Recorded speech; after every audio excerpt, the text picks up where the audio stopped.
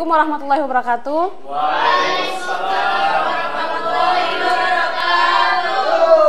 Eh, bagaimana keadaannya pagi ini anak-anak?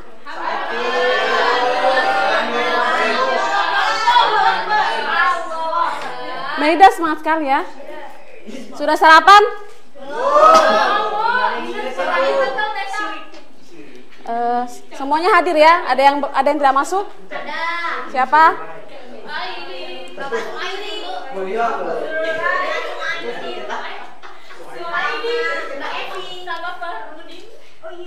Oh banyak ya.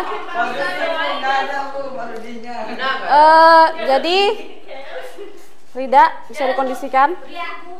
Iya. Jadi sebelum kita memulai pembelajaran pada hari ini, marilah kita berdoa. Dewa Yudi tolong pimpin doanya.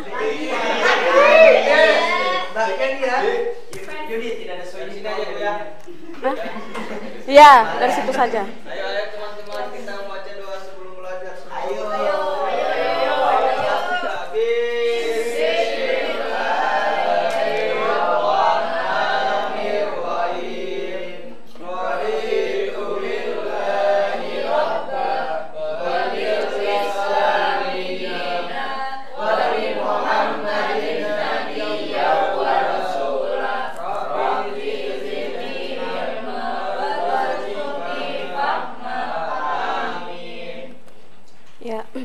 Kita sudah belajar tentang kurban ya. Ada yang tahu tentang pengertian kurban masih ingat? Si- Apa Rida? Dekat dekat kepada siapa? Oh ya. Jadi biasanya kurban Rida masih Rida kelas 10 SMA ya. Eh, jadi biasanya kurban itu kita adakan pada saat Ya. Oke. kita sudah tuntas ya dengan materi kemarin. Jadi sekarang kita akan mempelajari tentang perilaku ya, perilaku tercela, diskriminasi ya. Jadi sebelumnya Ibu akan membagi menjadi tiga kelompok. Dihitung dari TB. Tiga.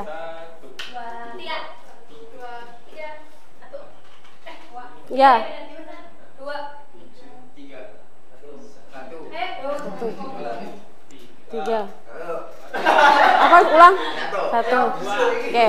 Jadi kelompok satu di sini, kelompok dua, kelompok tiga. Ayo.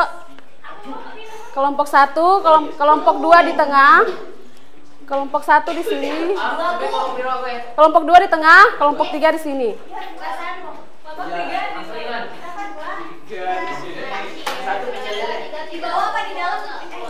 Kacamata, kacamata.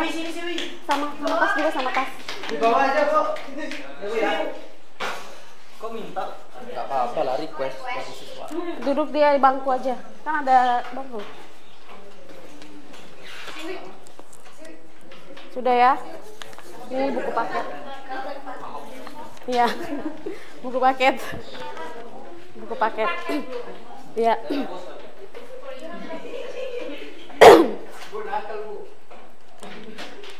Eh, sudah ibu sudah bagikan buku paketnya ya? Iya. Jadi perhatian.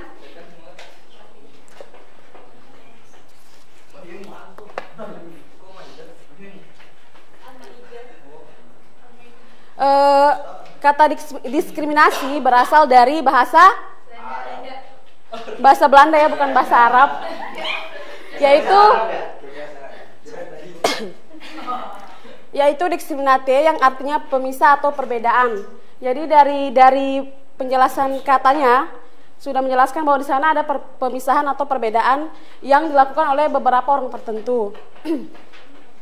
Kemudian dis- diskriminasi adalah perbuatan zalim dan tercela karena akan mendatangkan kerugian kepada orang yang diperlakukan.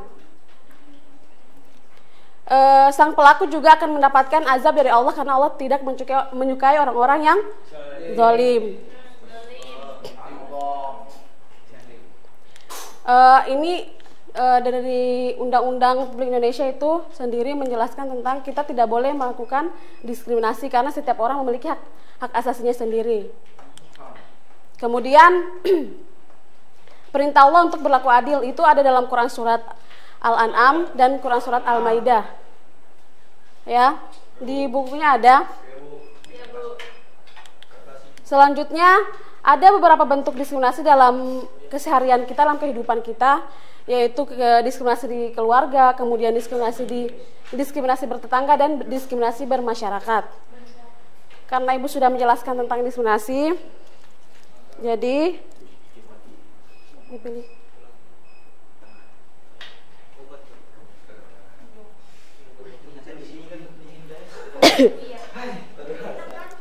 Iya, uh, supaya supaya kelompoknya lebih terasa itu ada baiknya kalau misalnya adik-adik buat lingkaran.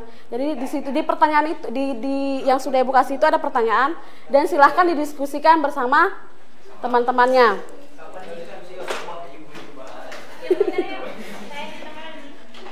Silahkan buat lingkaran.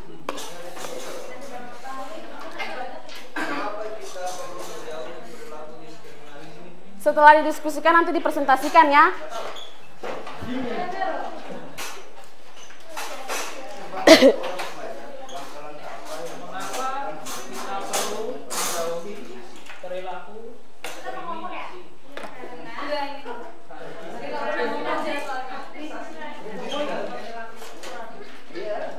uh, setelah didiskusikan setelah didiskusikan ada kemudian dipresentasikan dan setiap dan kelompok setiap kelompok harus mendengarkan apa yang dipresentasikan oleh kelompok yang lain. Ada. Enggak ada.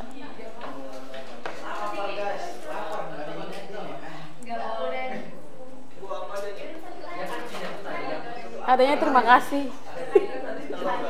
Iya. Nanti ke kos ya.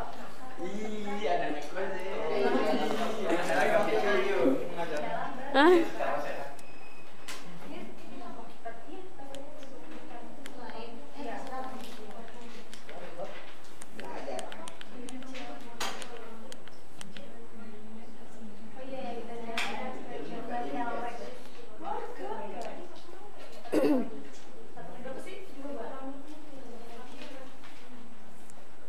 Masih lama. Ada yang mau ditanyakan dari pertanyaan tersebut? Dipaham? Semuanya paham ya? Apa? Iya, bentar. Sebentar. Hah? Iya. Tapi dia tidak mau. Iya. Apa perbedaan antara hak dan kewajiban? Oh ya, nanti ya. Karena ini lagi diskusi bu. Masalahnya seorang pelajar langkah apa saya Nah ini tentang hak ini bu dan kewajiban. Maksudnya apa itu bedanya bu? Eh, nggak masuk tapi maksudnya tuh ada sangkut pautan tentang diskriminasi tentang seorang pelajar dan. Iya, jawabannya Oh. kita. Iya. Eh, Supaya kita dapat hadiah nih. Oke, kalau menurut Ibu, hak dan kewajiban itu harus dimiliki oleh dimiliki oleh seseorang. Di mana kok contohnya seorang apa? Seorang guru, seorang guru ya, eh, dia mem- mempunyai hak untuk eh, apa? Mendapatkan gaji setelah dia mem- setelah dia memberikan kewajibannya. Kewajibannya di sini dalam bentuk apa? Kewajibannya dalam bentuk dia mengajar, nah, seperti itu. Jadi mereka berdua tuh saling mengikat gitu ya. Jadi, bukan mereka berdua tapi hak dan kewajiban itu harus memiliki satu orang. Dia harus memiliki itu. Dua menit. Sudah. Masih ada? Masih ada? Suat lagi. Apa itu ada pertanyaan ada? Boten. udah sudah semuanya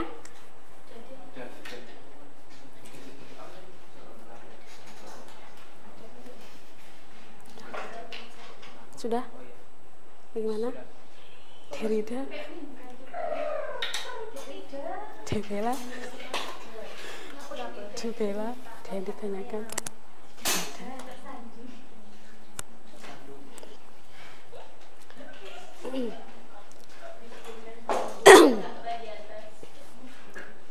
Sudah? Kalau sudah,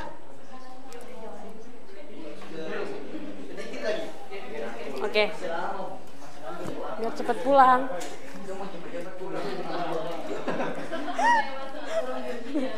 bersih betul. Apa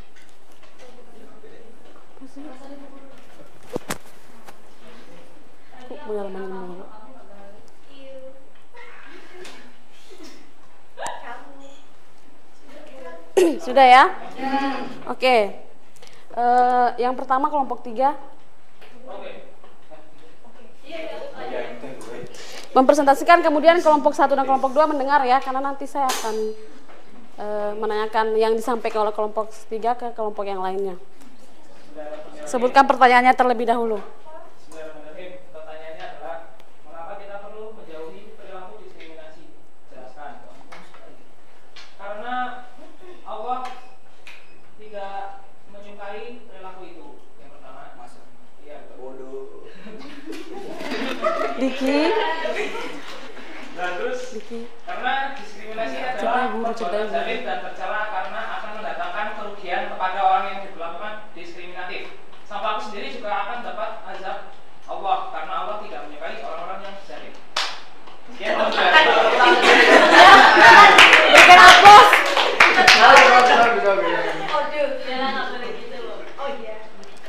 Eh, kelomp- eh, selanjutnya kelompok satu. Mas Tebe. Ya. Pertanyaannya, sebagai seorang pelajar, langkah-langkah apa yang kamu lakukan untuk menjaga terjadinya perilaku diskriminasi? Caranya, jauhi perilaku tersebut dengan meyakini bahwa semua manusia itu kodratnya sama, yakni sama-sama makhluk ciptaan Allah Subhanahu wa taala tanpa ada perbedaan. Contohnya jika saya itu orang Islam, dia itu orang Kristen, sama-sama sama-sama ciptaan Allah, jadi nggak ada bedanya. Ya, ya berikan aplaus buat kelompok satu. Selanjutnya kelompok dua. Pertanyaannya sebutkan contoh perilaku diskriminasi selain yang di buku dan jelaskan mengapa hal tersebut bisa terjadi. Yang pertama, kalian mengalir dari diskriminasi keluarga ya? Keluarga. Jadi contohnya, misalnya, oh, ini, Mbak Wiwit, Mbak Wiwit itu pengen nikah sama sama Sabudin. Tapi, tapi orang tuanya itu menjodohkan dia sama Mas Agil. Nah, itu diskriminasi. Iya nggak Bu? Selanjutnya. Tapi ya, yang kedua, yang kedua diskriminasi karena mungkin eh, pandangannya bapaknya tuh dia tuh lebih apa gitu Hah, gimana? Eh, pandangannya bapaknya kan dia udah punya misalnya dia Pilihan. seleksi gitu tapi bapaknya tuh pengen tuh sama Akil soalnya Akil tuh eh, di pandang bapaknya itu Oh, eh, iya. punya pendapat kayak gitu Karena dilihat dari soalnya segi- kan nggak memberi apa ya hak asasi buat anaknya Yang kedua, yang kedua diskriminasi dalam sekolah. Iya. Jadi ada seorang guru yang memandang misalnya dua murid ya, yang yang muridnya ini anak pejabat. Oh ya. Yang satunya anak orang biasa. Jadi eh, perhatiannya apa segala macam nilai segala macam itu diprioritaskan kepada anak Anak pejabat. ini. Jadi dua-duanya tentang diskriminasi sosial ya, walaupun Iya. dalam ranah keluarga dan dalam ranah sekolah. Oke. Tepuk tangan buat kelompok satu, kelompok dua. Ya. Sekarang kelompok satu, coba jelaskan apa yang tadi diutarakan oleh kelompok Eh kelompok tiga coba jelaskan apa yang tadi diutarakan oleh kelompok satu. Kelompok tiga Primo Mori. Jelaskan mengenai apa yang tadi diutarakan oleh kelompok satu. Ahok menang. Titot. Ayo. yang tadi dijelaskan oleh kelompok satu. Tadi Mas Tebe jelaskan. Suaranya? Tadi Mas Tebe Ya. menjelaskan Bu bahwa ini apa antara orang Islam dan Muslim itu Islam dan Kristen Kristen Kristen sama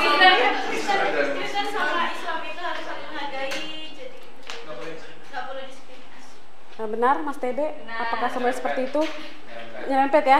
Jadi harusnya seperti apa? Tolong didengarkan kelompok. sebenarnya bahwa semua manusia itu sama muslim Kristen Buddha Hindu karena karena pada saat itu ada ciptaan Allah.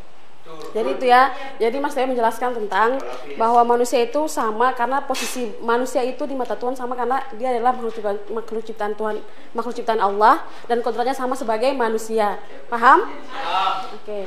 Selanjutnya ke kelompok satu eh, jelaskan apa yang diutarakan oleh kelompok dua. Oh ya, tadi tentang berkeluarga ya. Contohnya, contoh ya, contohnya. Contoh-contoh seperti yang berkeluarga tentang diskriminasi tentang berkeluarga, ya kan? Nah, misalnya tuh tadi kayak eh, apa?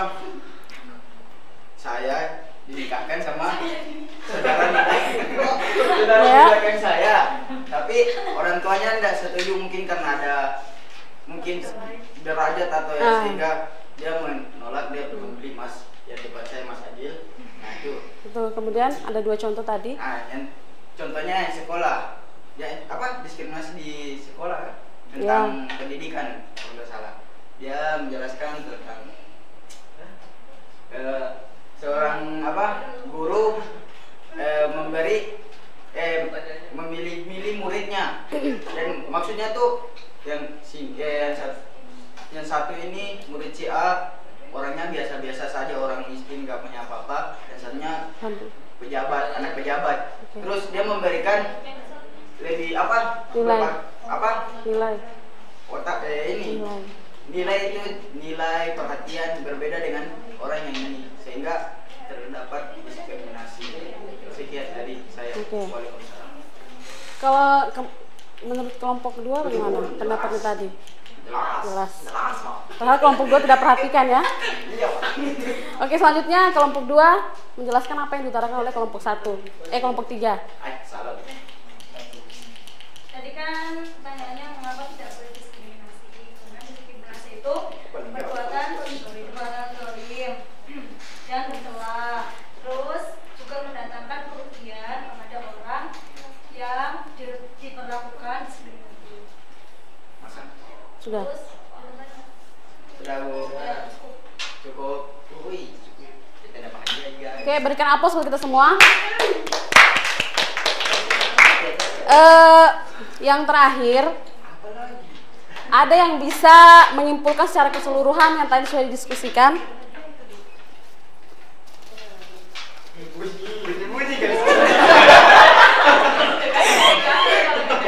Ada yang bisa menyimpulkan? kok saya sih jangan mah alhamdulillah Iya, ini sudah Ada? saya, Bu. sudah Bu. kalau gitu Bisa dibaca di buku juga kemudian Ya. di- ditambahkan dengan yang tadi didiskusikan. Ya, ya. Oke. Siapa Diki ya? Diki dari kelompok satu. satu lah Bu. Oke. yang pertama ma- dari pengertian diskriminasi berasal dari bahasa Belanda yang berarti yang berbunyi diskriminatif yang artinya pemisah atau perbedaan. Nah, di sini mengacu kepada undang-undang oh terdapat dalam undang-undang tentang diskriminasi pada ayat eh UU Undang-Undang Nomor 39 Tahun 99 tentang Hak Asasi Manusia bab 1 pasal 1 dijelaskan bahwa yang dimaksud diskriminasi itu setiap pembatasan pelecehan atau kemunculan yang langsung ataupun tidak langsung didasarkan pada perbedaan manusia atas alasan agama, suku, ras, nah dan lain-lain. Nah, di sini tentang soal pertanyaan pertama apa tuh sebagai seorang pelajar ya langkah apa yang kita langkah-langkah apa yang kamu lakukan untuk mencegah terjadinya perilaku nah kan sudah jelaskan tadi Mas Tepe bahwa kita semua itu ciptaan Tuhan dan Allah. Jadi tidak tidak boleh membedakan satu sama lain antara non muslim dengan muslim. Nah eh, mengapa kita tidak boleh apa diskriminasi? Ya diskriminasi. Karena Allah telah memerintahkan seorang muslim dan muslimah untuk selaku berlaku adil tidak membedakan perlakuan meskipun terhadap kerabat. Ah, baik non muslim maupun muslim dan eh, tidak tidak. Terdapat di surat al-an'am tentang ayat 152 nah, dan, yang kedua surat al-maidah ayat 58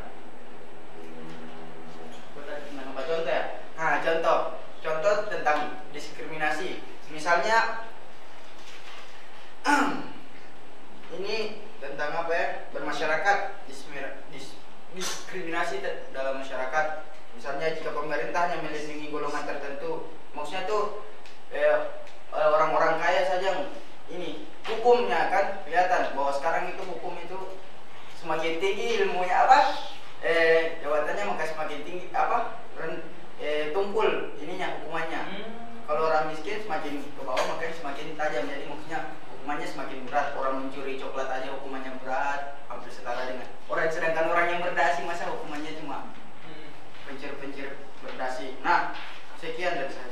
Oke berikan aplaus buat kelompok satu. Jadi sudah jelas ya ibu tidak iya. perlu mengulangnya kembali karena iya, karena sabar karena eh, jelas ya kita jadi kita sebagai seorang muslim sebagaimana yang dianjurkan oleh Allah Subhanahu wa taala di Quran surat Al-An'am dan Al-Maidah maka kita tidak boleh melakukan diskriminasi bah- ke- kepada kerabat bahkan kepada orang yang tidak kita sukai sekalipun ya sekian dari ibu karena kelompok satu yang hari ini sangat semangat makanya nih Bukan itu. Wih, bakar. Ya Di sini tidak diskriminasi. Saya berlaku Oke. adil, tetap semua. Diki bisa eh, konsentrasi dulu ya.